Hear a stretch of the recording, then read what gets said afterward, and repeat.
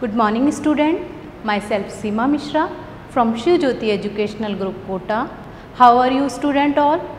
I hope all are fine. बच्चों आज हम अपनी पाठ्य पुस्तक नवरस से पाठ आठ गैजेट्स मित्र या शत्रु पढ़ेंगे पुस्तक नवरस पाठ आठ गैजेट्स मित्र या शत्रु। पाठ सात गैजेट्स एक छोटी तकनीकी वस्तु या उपकरण है।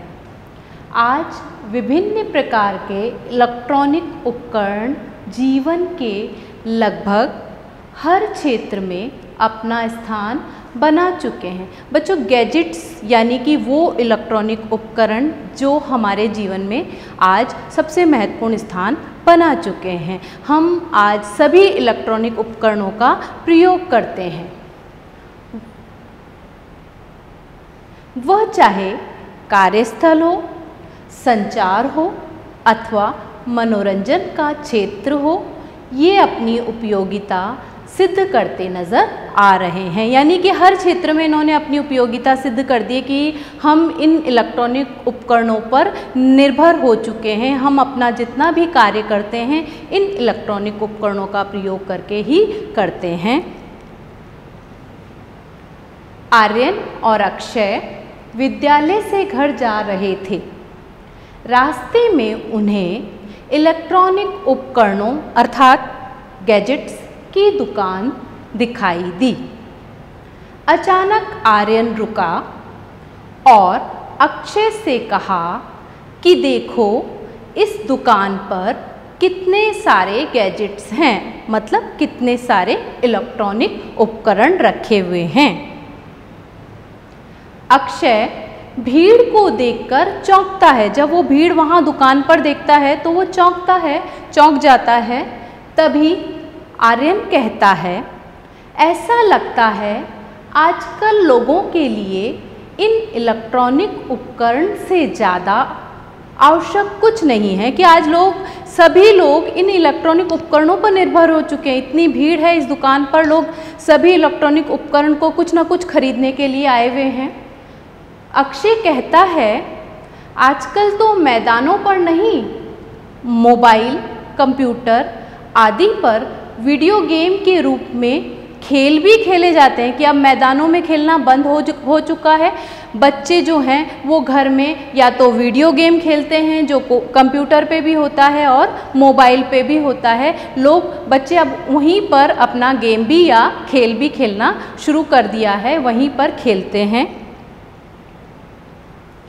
आर्यन ने बताया कि कंप्यूटर आदि इलेक्ट्रॉनिक उपकरणों के अधिक प्रयोग से स्वास्थ्य पर कई विपरीत प्रभाव पड़ते हैं कि ये हमारे स्वास्थ्य के लिए भी हानिकारक हैं। इन इलेक्ट्रॉनिक उपकरणों का अत्यधिक प्रयोग करने से ये हमारे स्वास्थ्य को नुकसान पहुंचाते हैं।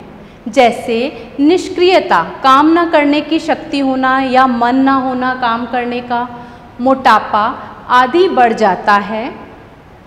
गैजेट की चमकती स्क्रीन को लगातार देखते रहने से आँखों में चुभन, जलन, खुजली होना और धुंधला दिखाई देने जैसी अन्य नेत्र संबंधी समस्याएँ हो जाती हैं। यानी आँखों की बहुत सारी बीमारियाँ हैं जो हम ए, स्क्रीन को देखते हैं। वो ब्राइट होती है चमकती भी होती है और उससे हमें ये सभी बीमारियाँ होती हैं जो हमारे लिए नुकसानदायक है।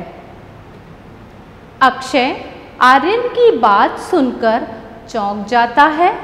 वह बोला तो इसका मतलब हमें गैजेट्स का बिल्कुल प्रयोग नहीं करना चाहिए कि क्या हमें अब गैजेट्स का इस्तेमाल नहीं करना चाहिए? क्या हमें इलेक्ट्रॉनिक जो उपकरण है उसको प्रयोग में नहीं लेना चाहिए? बिल्कुल प्रयोग नहीं करना चाहिए।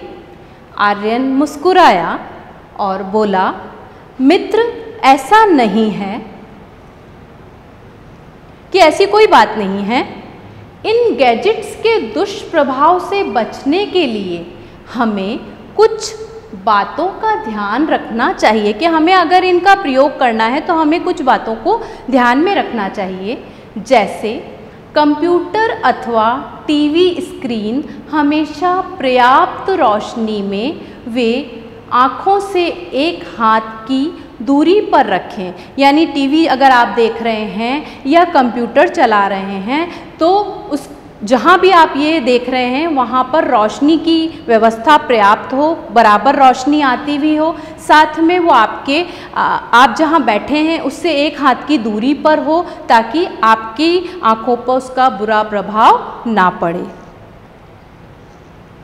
अक्षय आर्यन की बातें ध्यान से सुन रहा था और बोला कि मैं तुम्हारी बातों का ध्यान रखूँगा, तथा गैजेट्स का प्रयोग करते समय सभी सावधानियाँ बरतूँगा कि अगर मुझे गैजेट्स का यानी इन उपकरणों का प्रयोग करना पड़ा तो मैं सभी सावधानियाँ रखूँगा, ध्यान रखूँगा। आर्यन, अक्षय की यह बात सुनकर प्रसन्न हुआ। वह बोला हाँ मित्र, इन महत्वपूर्ण बातों का ध्यान रखकर ही हम गैजेट्स को अपना मित्र बना सकते हैं। अगर हमने इन बातों का ध्यान रखा तो गैजेट्स हमारे दोस्त बन सकते हैं, मित्र बन सकते हैं और इनका भरपूर आनंद उठा सकते हैं। और साथ में हम इन उपकरणों का भरपूर आनंद उठा सकते हैं। उनसे हम बहुत सारी चीज़ें भी सीख सकते हैं। बच्चों, अब हम अपनी बुक पाठ आठ गैजेट्स मित्र या शत्रु मैं आपको कुछ नवीन शब्द बताने जा रही हूँ। आप अपनी बुक ओपन कर लीजिए पेज नंबर 54 और मैं जो शब्द बोलूँगी, आप उसको रेखांकित करेंगे। आधुनिक विद्यालय इलेक्ट्रॉनिक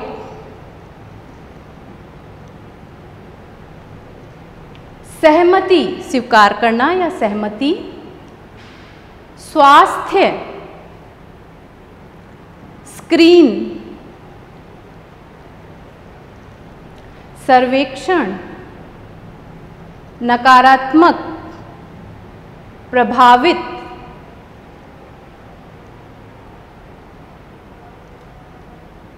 महत्वपूर्ण। ये नवीन शब्द आपको अपनी बुक में रेखांकित करने हैं। चलिए बच्चों, बुक के प्रश्न, मौखिक प्रश्न में एक आर्यन और अक्षय को रास्ते में किस चीज़ की दुकान दिखाई दी? उत्तर, गैजेट्स, आप ब्रैकेट में इलेक्ट्रॉनिक उपकरण भी लिख सकते हैं। बाकी के प्रश्न आपको स्वयं करने हैं। सही उत्तर पर सही का निशान लगाइए। क, आर्यन और अक्षय, रेगिस्तान, से घर जा रहे थे। विद्यालय, बाकी के आपको स्वयं करने हैं। हाँ या नहीं में उत्तर दीजिए। क, गैजेट्स की दुकान पर कपड़े भी थे। नहीं बाकी का आपको स्वयं करना है।